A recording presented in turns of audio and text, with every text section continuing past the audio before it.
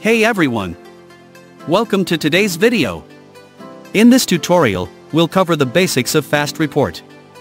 You'll learn about the commonly used components for designing reports and how to create a simple sales invoice format. Let's get started.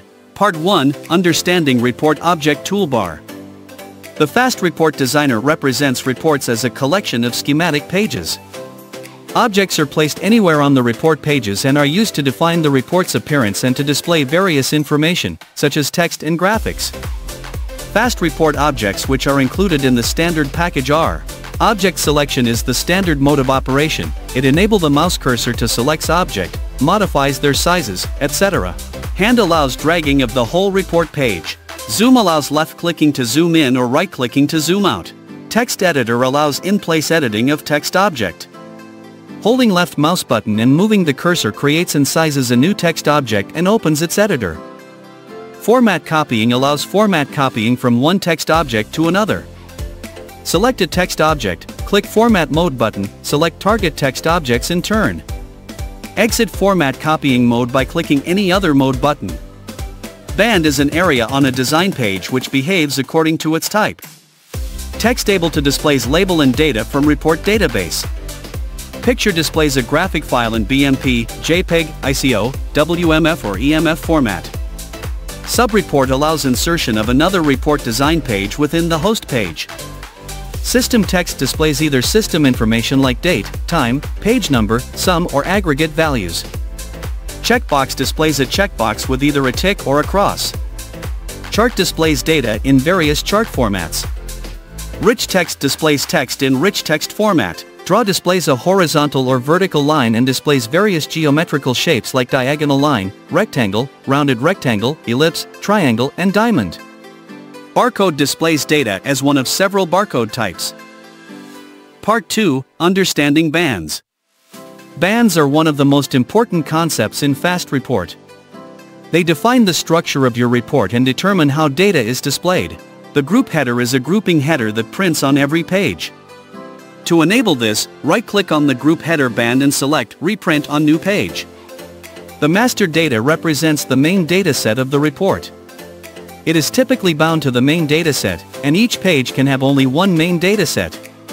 The Detail Data section is used to display all item details. Detail Data 1 and Detail Data 2 determine how item details are processed based on whether the Merge Same Item Code option is enabled in Tools option Miscellaneous. Detail data 1 used when merge same item code is not ticked. Detail data 2 used when merge same item code is ticked. The group footer functions as the grouping footer and appears only on the last page. The page footer is displayed on every page of the report.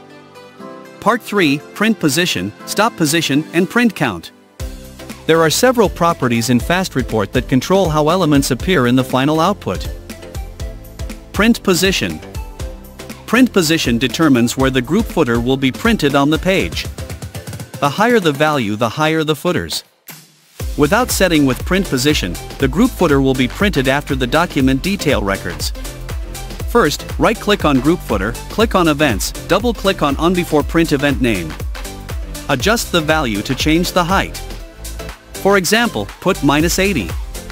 Let me show you the difference between minus 80 versus minus 200 in preview mode. Stop position.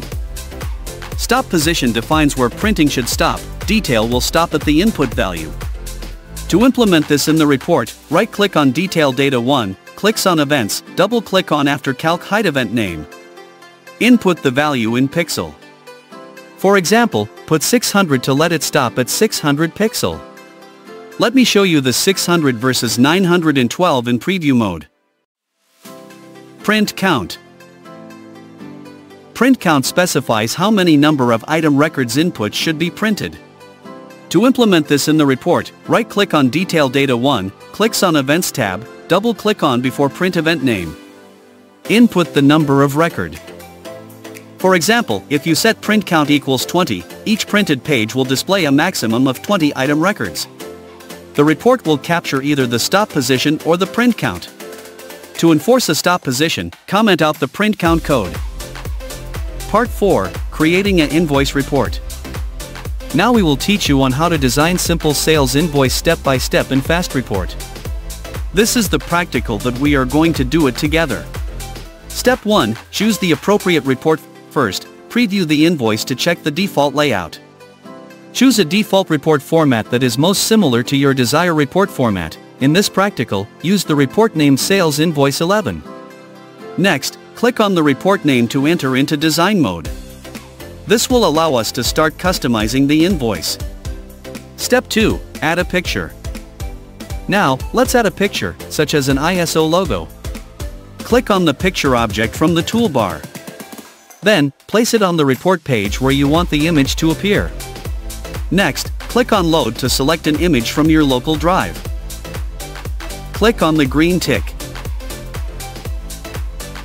Once the image is added, resize it as needed to fit properly in the report. Step 3, add customer email address. Next, let's add the customer's email address. Click on the text memo tool. Place it on the report page where you want the email to appear. Enter email as the label. Then, repeat the previous steps to insert a dynamic email field. Select expression, document underscore company branch, email. This will automatically fetch and display the customer's email from the database. Step 4, add a note. Now, let's add a note using the rich text object. Note is formatting text, hence you are required to use rich text object. Click on the rich text object from the toolbar. Then, place it on the report page where you want the note to be displayed. Now, select Expression, Main, Note to fetch and display additional details from the dataset. Click green tick to save the changes. Step 5, add a sum of quantity. Next, let's add a sum of quantity. Click on the text object from the toolbar. Then, place it on the report page where you want the total quantity to be displayed. Now, click on System Text icon. Select Function, Data Band, Data Set and Data Field, press OK. This will automatically calculate and display the sum of all item quantities in the invoice. Step 6, draw a line for better formatting. Click on the Line tool from the toolbar. Then, place it on the report page where you want to create a dividing line. Click and drag to draw the line to the desired length. Before we moving on to the next step, let's talk about the Alignment toolbar. The Align toolbar in Fast Report helps you organize and arrange objects efficiently within the report layout. We will now go through each alignment option. Align left aligns the left edges of all selected objects to the first selected object. Align middle aligns the horizontal centers of all selected objects to the first selected object. Align right aligns the right edges of all selected objects to the first selected object. Align top aligns the top edges of all selected objects to the first selected object. Align center aligns the vertical centers of all selected objects to the first selected object. Align bottom aligns the bottom edges of all selected objects to the first selected object. Space horizontally distributes the selected objects evenly along the horizontal axis. Space vertically distributes the selected objects evenly along the vertical axis. Center horizontally centers each selected object individually within its horizontal band. Center vertically centers each selected object individually within its vertical band. Shrink or grow width adjusts the width of all selected objects to match the first selected object. Shrink or grow height adjusts the height of all selected objects to match the first selected object.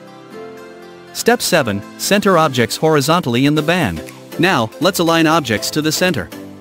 Click on the object you want to center, such as the invoice title. Then, click on Center horizontally in band from the toolbar the object will now be automatically aligned to the center of the band. Step 8, Align Objects. The system will align the objects according to the first selected object. If you need to align multiple objects, select all the objects that need to be aligned. Then, click on Align Left, Middle, or Right based on your preference. If you need to align doc no and date along the same horizontal axis, use one of these options, align top, middle, or bottom based on your preference. Step 9, Save and preview the report. Finally, let's save and preview our report. Click on File, then Save As, enter a report name, and click Save. Now, click on Preview to check the final result. That's all for this video, thank you. Subscribe to our YouTube for the latest videos, follow our Facebook for the latest update, go to our website for reports and guides. It's so easy.